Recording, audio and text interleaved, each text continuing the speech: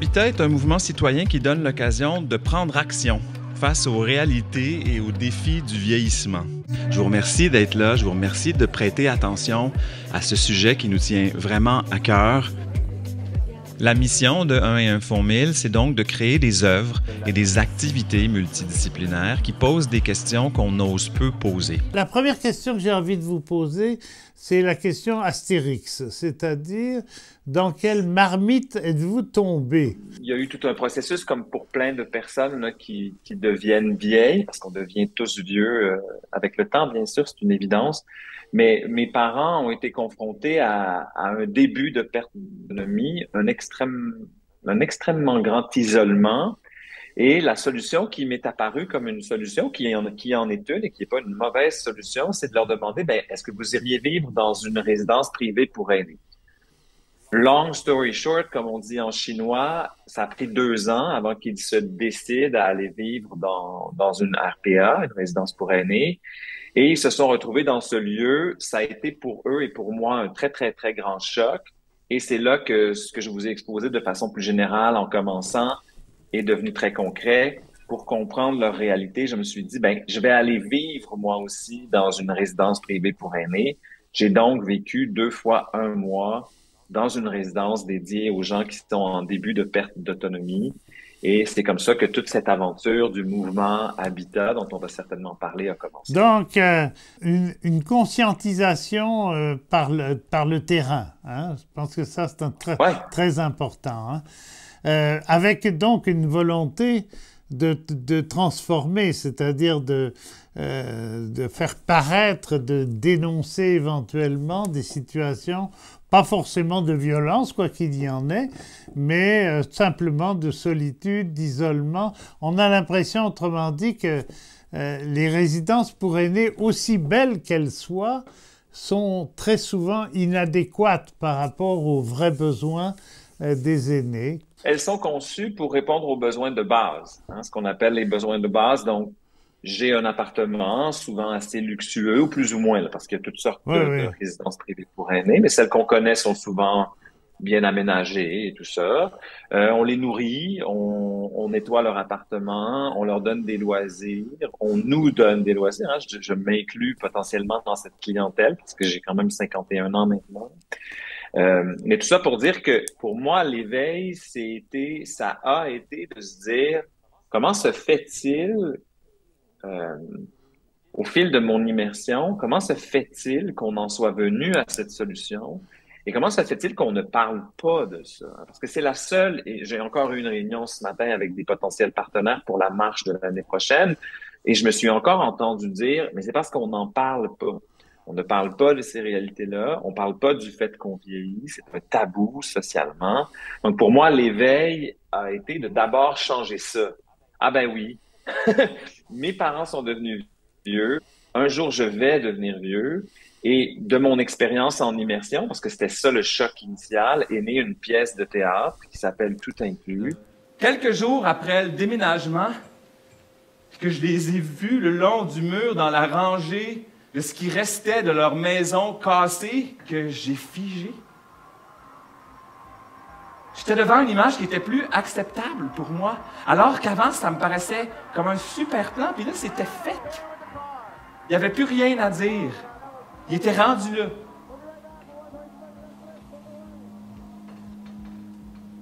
Est-ce que c'est ça qu'on avait choisi?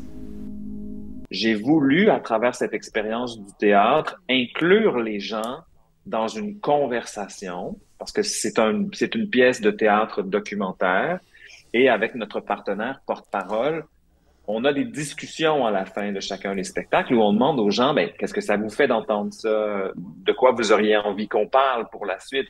Et ce qui ressortait, Jean, c'est que les gens disaient, ben, on parle jamais de ça. On connaît cette solution-là des RPA, mais quelles sont les autres solutions? Est-ce qu'il y a quelque chose qu'on peut faire?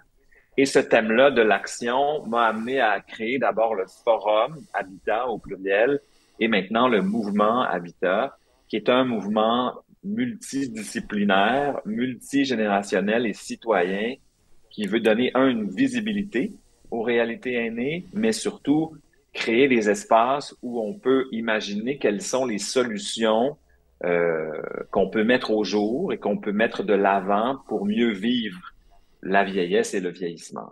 Le mot acteur. Moi, j'ai j'ai euh, créé une maison des aînés à Hochelaga-Maisonneuve euh, il y a longtemps maintenant, il y, a, avait une trentaine d'années, et euh, j'avais dit c'est la maison des aînés. C'est pas la maison pour eux, c'est la maison des aînés, c'est-à-dire où ils deviennent des acteurs réels, des gens qui peuvent agir mmh. sur leurs conditions de vie, sur leur milieu. Ils sont chez eux, autrement dit. Euh, la, la grande différence avec les RPA habituels, c'est que justement les gens sont, c'est des cages dorées pour vieux et ils sont pas, ils sont pas les acteurs de leur milieu. Dans la plupart des cas, ils sont protégés en quelque sorte de façon maternelle, paternelle. Je parle pas des abus là, mais on leur demande pas finalement leur avis euh, sur le sens qu'ils veulent donner à leur vie, tout simplement, tous les jours, à travers les décisions sur le milieu. Mais vous, vous, ben faites du théâtre, hein, c'est ça, acteur aussi. Hein? ben, je pense que là où, où on, se rejoint dans nos intentions, c'est que moi, je crois que d'abord et avant tout, il faut être face à notre propre vieillissement. Il faut se rendre compte qu'on vieillit. Hmm. Et ça, on veut pas le hmm. voir. On est dans une société qui refuse de voir ça. Donc, ça devient facile pour des gens qui bâtissent des RPA. Encore une fois, je veux souligner que les RPA répondent à un réel besoin. Hein. Les gens ont besoin de soins. Les gens ont besoin de, de, de genre d'un service comme ça qui est offert à ceux qui peuvent se le payer, bien sûr, dépendamment de, du niveau de luxuosité. C'est pas un mot, mais vous, me suivez. Et je crois que la, première étape, pour moi, c'est pour ça que le mouvement Habitat est au pluriel, c'est que la première étape, c'est qu'il faut être bien avec le fait que notre habitat principal, qui est ce corps que nous avons, euh, dans lequel nous sommes incarnés, vieillit. Et que à cause de ça, nos besoins en, en habitat réel évoluent et changent, et que nos besoins, que cet habitat-là du corps, de l'appartement, s'inscrit dans une communauté et que ça aussi, ça a besoin d'évoluer et de changer. Donc, c'est pour ça que le mouvement Habitat est vraiment un lieu d'action. On dit aux citoyens, venez vous, vous mettre ensemble pour discuter de ça, pour parler de ça. Puis pour, un peu comme vous, vous l'avez fait, Jean, avec votre maison là, dans Schlager Maisonneuve, créer des solutions, créer des environnements qui répondent à vos aspirations, puis c'est pas donné à tout le monde de faire ça, mais nous, on croit qu'il y a bien des gens qui se disent Ah, moi, je suis pas capable de faire ça, qui en fait le sont. Hmm. Moi, j'aime beaucoup l'utilisation pédagogique ou l'utilisation comme levier que vous faites avec les arts, que ce soit le théâtre, euh, en disant le, le respect de l'imaginaire, tout simplement. Moi, je crois vraiment que c'est l'imagination qu'on apporte du, mode artistique puis qu'on transfère dans des possibilités d'action dans le monde réel. Donc, on fait des projets, mais on les concrétise. On dit oui, ça se peut, on peut y croire. Et, et encore là, c'est ça qui fait que je me lève euh, à chaque matin depuis maintenant cinq ans autour des réalités du cycle vivre vieux et du mouvement Habitat.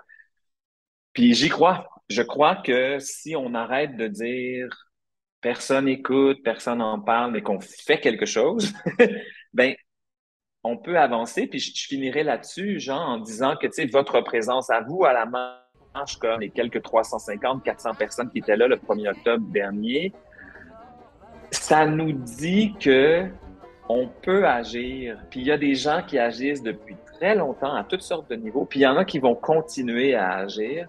Et ce sont ces voix-là, VOIE, et ces voix-là, VOIX, qu'il faut mettre de l'avant en disant, oui, continuons d'agir malgré le déni, malgré la résistance.